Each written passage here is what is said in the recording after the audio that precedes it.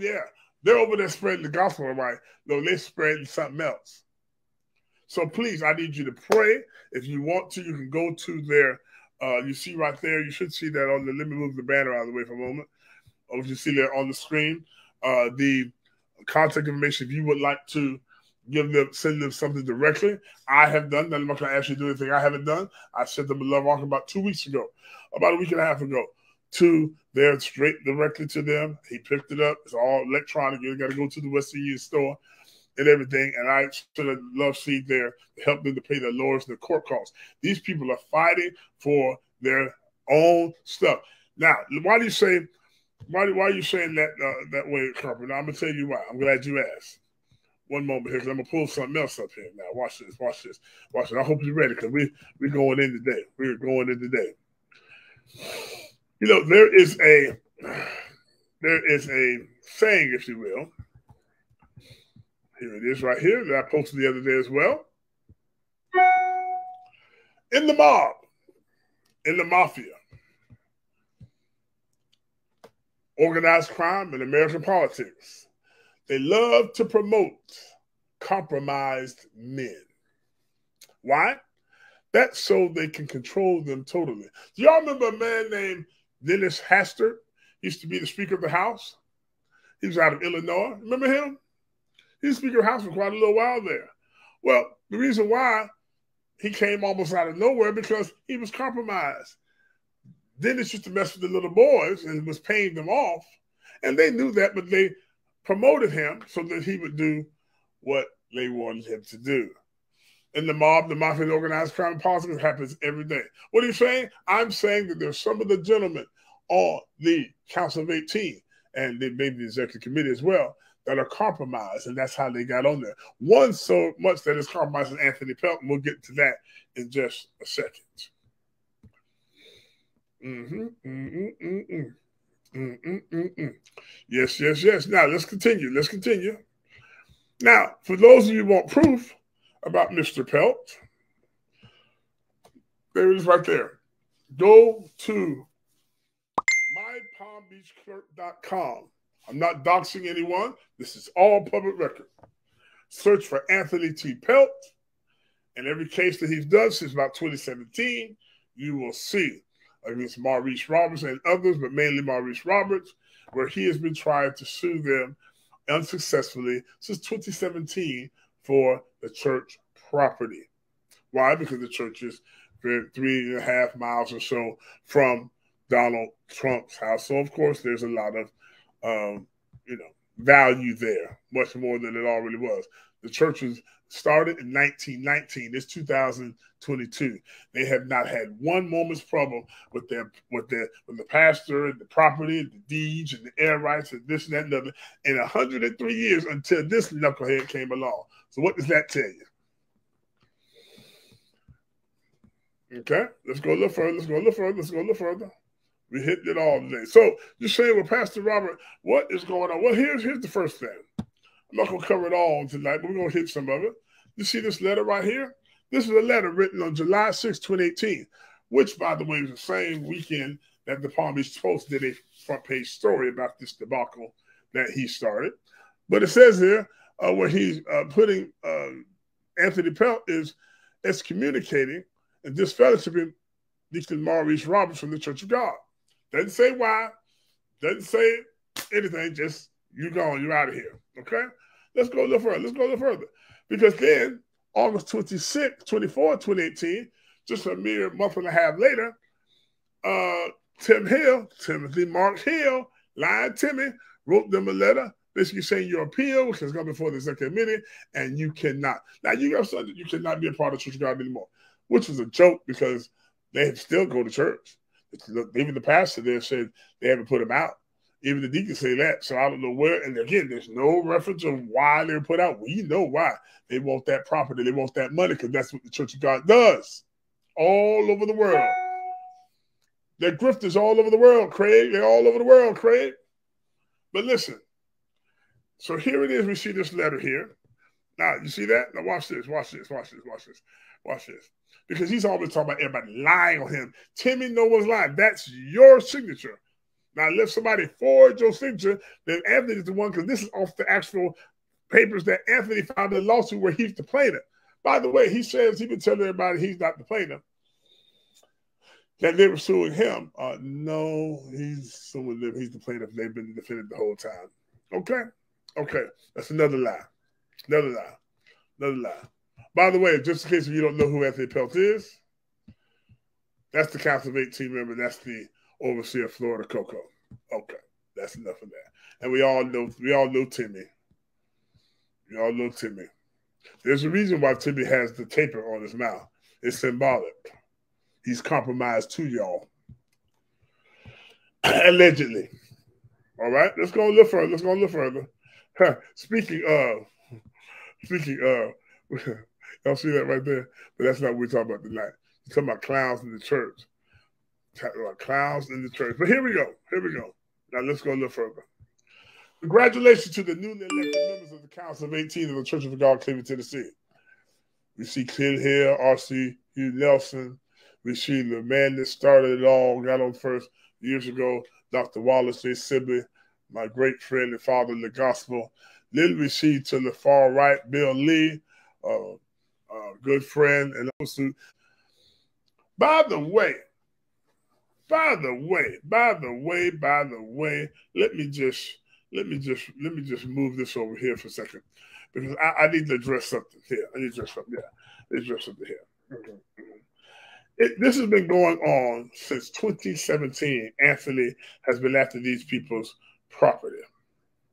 Okay, this church has been existing since 1919, and no, they've never had a problem with anybody trying to have a problem there. You know, take the property, sell it, mortgage it, whatever he's trying to do. Never had a problem until Anthony Pelt coming along. What does that tell you? Bad leadership. But now, what bothers me even most, and every once in a while I get a reminder because Fifth Street Church of God is not some random church in West Palm Beach out there by itself. It's the mother church of that area. Okay, my former pastor when I was growing up, Bishop S.T. Grant and Sister Renita Grant, who just passed uh, not too long ago, my, uh, you know, is, was a member there, long time member. He was my pastor until I knew myself until I was 12, until Bishop Hutchinson came. He, that's his church. This church been around a long time. But you would think that it's sitting on an island over on Palm Beach by itself because none of the other churches on the district, I haven't heard of Pete. Pete hadn't heard of Pete. hadn't heard of Pete. Look here, from the district overseer, the district overseer, Oscar Lewis. Oscar. No? Oscar. You the district overseer. I haven't heard you say a thing. This is one of the churches in your district. Then you post, welcome back. Welcome back, Carter. North Palm Beach District pastors, Anthony Minsapel. What wonderful. Praise God. Have you all been called Mother Robinson, Oscar, Diane? Y'all are great people. I have no beef with you. How can you sit there and watch this happening? This man committing highway robbery, and y'all, oh, I guess you're not gonna say that, uh, Oscar, because you don't want to lose your district overseership. Is that what it is? Because we know that Anthony likes to intimidate people and rule people by fear. I hope that's not the case. I hope to God that's not the case. But it seemed like it, y'all. It seemed like it. But let's go a little further years ago, he died when I was a little boy. The name called him Babe Michael, Reverend W.M. Michael. He had so much sugar, Pastor. He, he had so much sugar in, in his voice that you could almost get diabetes listening to him. That Negro had some kind of tune. Mm-hmm. Lord, he could tune it, brother. But you know what I heard his wife say? His wife said that my husband, babe, lived the life. She said, when he first started preaching, said he could rock a house. God gave him that kind of vocal gift, that vocality. And uh, she said, but when he first started preaching, said, babe didn't know what he was talking about. Said, have Moses in the lion's den and Daniel crossing the Red Sea. But here is what she said. When I sent Babe to school to get him a few courses here and there. And when that boy finally put Moses where he was supposed to be and Daniel where he was supposed to be, yes, sir. Yes, sir. so that boy rocked the house. But here's what she said. She said, but his life held me. There was no discombobulation between the ecclesiastical and the domestic.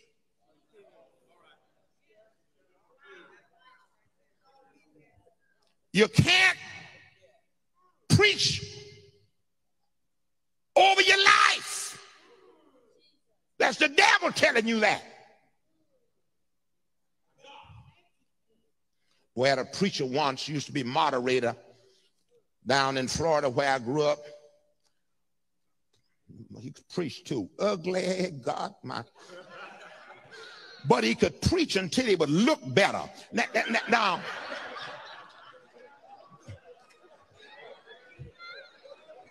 God knows that's the truth. You would see him almost uh, be, become metaphorically transformed. Preach. But his rascalities sometimes got in the way.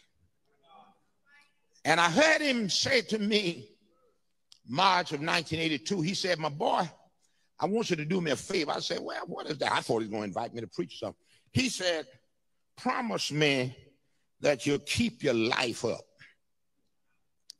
He said, With the gifts that God has given you, and you finish seminary and college and everything, you're training. He said, Don't let the law down in your behavior. He said, I messed up a lot when I was young. Of course, the devil had me fooled that I could preach over stuff. I could preach over it. Preach over it, preach over it. I remember one Sunday his enemies had all of his furniture out on the church lawn trying to put him out. He went inside the sanctuary and it took all his office furniture out, had the cops out there on the lawn. He drove up, had a 1958 Buick Roadmaster. He drove up and I watched him because I was I was a member of the church across the railroad. He got out, had on a white JB Stetson hat, white Stacy Adams, white three-piece suit, and a white overcoat across his arm. Palm Sunday, 1958. And he always preached in the afternoon on WTMC radio station, a delayed broadcast. He preached that Sunday evening, What evil has he done? Talking about Pilate.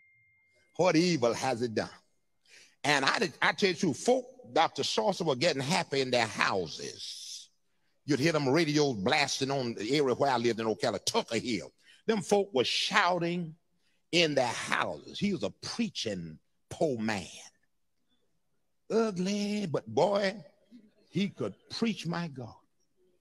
But here's what he told me keep your life up. You can't preach over sin.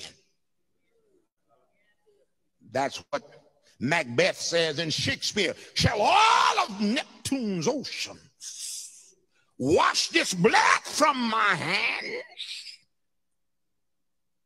No, sir. Water won't take care of sin. You need blood for that. Water is good for the skin.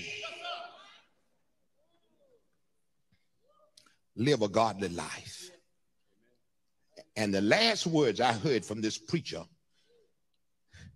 he says, I got it straight with God now, and I'm heading to the roundhouse. He died five months later.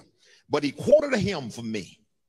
Must I to the judgment be brought to answer in that day for every vain and idle thought and every word I say?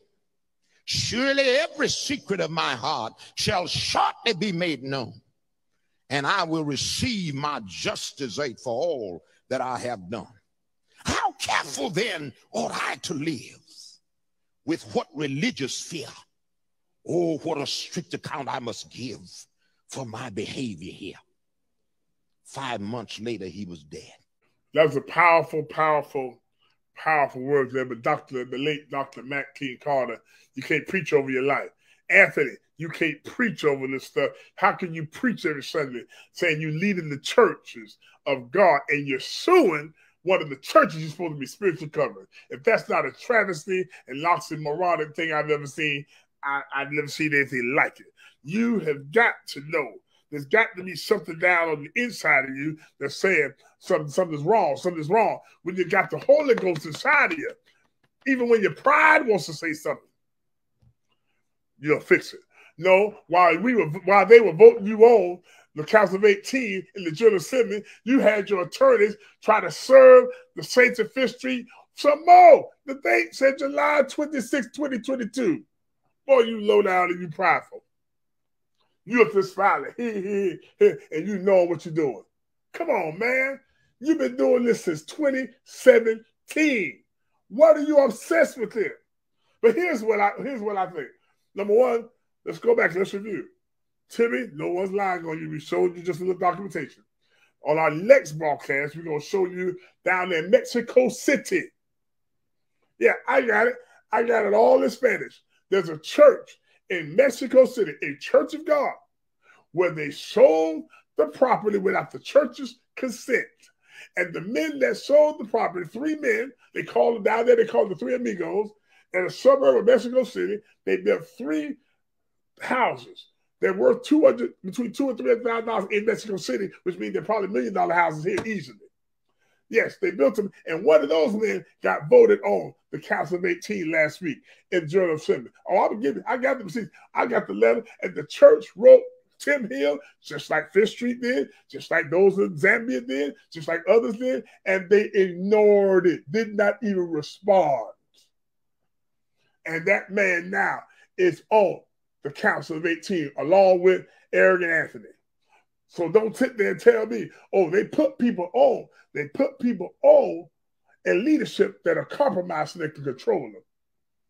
Oh yeah, oh yeah, it's all coming out. I got calls now coming from Bulgaria. I got calls now coming from other parts of Africa. I got calls coming from all over the world. People just glad that somebody is speaking out, not afraid. That ain't me. Mother Roberts, Sister Julia, I didn't choose this. But somehow we end up on this course together, and I ain't going nowhere. Oh, bless his name. Oh, Lord. Hey, bless, help me, Lord. But let me tell you something. Let's review. Bishop Oscar Lewis, District Overseer over Fifth Street. I can't hear you. Sister Diane, you're a sweet woman. You're a sweet woman. God knows you are. I can't hear y'all. Huh? Bishop Darrell Hepburn, Lee graduate. Bishop Cecil Hepburn, Lee graduate. I can't hear y'all. Y'all are 10 miles down the road, if that, from Fifth Street Church of God. And Cleveland helped y'all with that. It was reported to me. So if they try to take something that they have not invested one dime in in 103 years, what you think they'll do to Blue Heron Church of God if they want that property? That's prime property, man. You're on Blue Heron Boulevard. I need somebody, while I'm thinking about I need somebody to confirm with me what happened to the Church of God on 4th Avenue West and Fort Lauderdale. Church of God at 4th Avenue near Andrews. And, and somebody went there today, and I'm just to get, I want to get a picture of it. They went by, that they actually just happened punt it, like things always happen. And the church was boarded up. Diane Mann used to pastor. She used to pastor, her father used to pastor. She, but she's in Orlando now. What happened to that church? It's all boarded up and fenced up. Is that another property Church of that sold? Or trying to sell? How in the world can you be in the last days, the end times, and sit up here and instead of winning souls, you talk about the Great Commission. Oh Lord, you talk about the Great Commission. You want to fulfill the Great Commission, but I wonder if you want a big commission. Oh, yeah, money, money, money, money. Oh, bless his name. You got to understand something here. You got to stop every time I think of the goodness of the Lord. Every time I think about the end times, every time I think about what I see going on in the world, I see the big bear, Russia is kicking up in Ukraine. I see China is kicking up all over the world. I see things happening, earthquakes in diverse places. Uh, I see a food shortage, a baby formula shortage. I see uh, an oil shortage. Gas is high. Food is high. People are starving. People are dying all over the world. And oh, oh, the Church of God, Cleveland, Tennessee, seem to be worried about is money, to be worried about property. I want to know every time. Every time. Every time I see that time is winding up, I get a quickening in my spirit. I get a quickening in the spirit. And I want to share the gospel of Jesus to anybody I can. Because time is winding up. Our spirit knows that time is winding up. And there's an end time revival that's got to be had before Jesus cracks the sky. So if you got the Holy Ghost down in you, if you believe the Bible, I believe, if you serve the good Savior, how can you put people out of the church? How can you sell people's property? This ought to be the time that you ought to be sending churches money, not them sending you money. This ought to be the time that you ought to be rebuilding churches. This ought to be the time that you ought to be planting, ought to be planting churches all over the world. But no, no, no, no, no, no, no. You ain't worried about planting souls, or planting churches. You worried about planting money in your deep pockets. But I'm here to tell you, your pockets got holes in them. You're not going to be blessed. It's cursed that you put out those 29 churches over in Zambia. You're cursed because you're putting churches out. You're trying to sell churches' property. The old man J.T. Robinson, way back in the 50s, uh, did the same thing uh, was going around uh, to the colored work, mortgaging the church's property and taking the money and leaving the bills for the churches to pay. That's what was reported to me down through the years. But I want you to know I don't have to turn red as a beat like Tim Hill. I don't have to look, joke it off like every pelt likes to do. Um, but time, time is winding up. Time, time is winding up. Is winding up. You better get right. You better get right with God uh, from the top of the Church of God down the executive committee. You better get right. You better get right every state overseer, every field representative. And oh, we're going to talk about that bridge builders too. Uh, you better get right because time is winding up uh, and the judgment of God begins in the house of God. Oh, bless his name. Let me tell you something. Let me tell you some time is winding up. Oh, bless his name. Oh, Jesus, have mercy. You better get it right. You better get it right. Church of God, if you mean what you say, you say what you mean. Drop the lawsuits.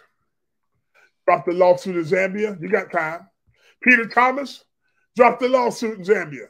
Give those 29 churches their churches back, their property back. If you really mean what you say you mean, come on, Anthony, drop the lawsuit that you filed against the Church of God Fifth Street. If you mean what you say, if you mean what you say, go to Mother Roberts and tell I'm sorry for saying you got a mouth like a cesspool, a woman old enough to be your mama. Huh? If you really, really, really, really want to get it right, take the high road. Michelle Obama said, when they go low, we go high. They didn't go high. You went low and you going lower. Come on here. It's a disgrace. It's a disgrace. It's a disgrace and a shame. I tell you what, God is sitting there. He's sitting down and he's looking and he knows. oh, bless his name. He knows. Listen, I got to go. My time is up. We're going to continue this. Tonight, Wednesday. Tomorrow night, we may do a late night. You see, I'm getting my voice back from this size of the Thank you for your prayers. Thank you so much. I could not do this last night. I got more receipts, y'all. I've got a letter, the actual letter the churches in Mexico City sent to general headquarters that got summarily ignored. Man, come on. This is a joke. This is a joke. It's a game. It's a game. But all right. Just got me some intel. I'm gonna say that for our next broadcast. Thank you. Thank you. Thank you. So that's one thing about it. All you gotta do is put it out there. Somebody gonna find information. Thank you, every single one of you. If you want to be a blessing in what we're doing, you can send a love offering. You can do all that. I'm not gonna belabor the issue. You can contact me. You can send it. PayPal is Rob Carpenter II. If you uh, want to send it, uh, Cash App. Uh, you can send it at, at Rob Carpenter 2. And now even you can do the RCTV networks with an S. Also, if you're on Venmo, at Rob Carpenter 2. However you want to be a blessing, you can be a blessing. We got a lot to do. And I tell you what, we not backing down. I, somebody told me they put the private investigator on me. That's good. Come on. Come on. I, and, and, they can't sue me. They can't sue me, but I don't know if they're going to sue me for. But tell you the truth, everything I'm saying is source documents. For those of you interested, excuse me, go to mypalmbeachclerk.com. Search Anthony T. Pelt. You'll see it all there for yourself. All the stuff he filed. And so, also, it's the end times, y'all. You better get ready. Uh, it's going to get worse before it gets better. And so, you want to watch this little commercial here because before we go and everything. But I want you, I want to pray. Let me let me pray before I do the commercial. Let me pray. Father, I thank you right now. Thank you for giving me the energy. Thank you for giving me the fortitude. Thank you for all those brothers and sisters, even my brothers there in Cleveland, uh, uh, uh, that are, are, are praying with us and working with us, and even those all over the world that are sending intel and sending information and saying, "Thank you, Pastor Robert." God, I thank bless each one of them right now.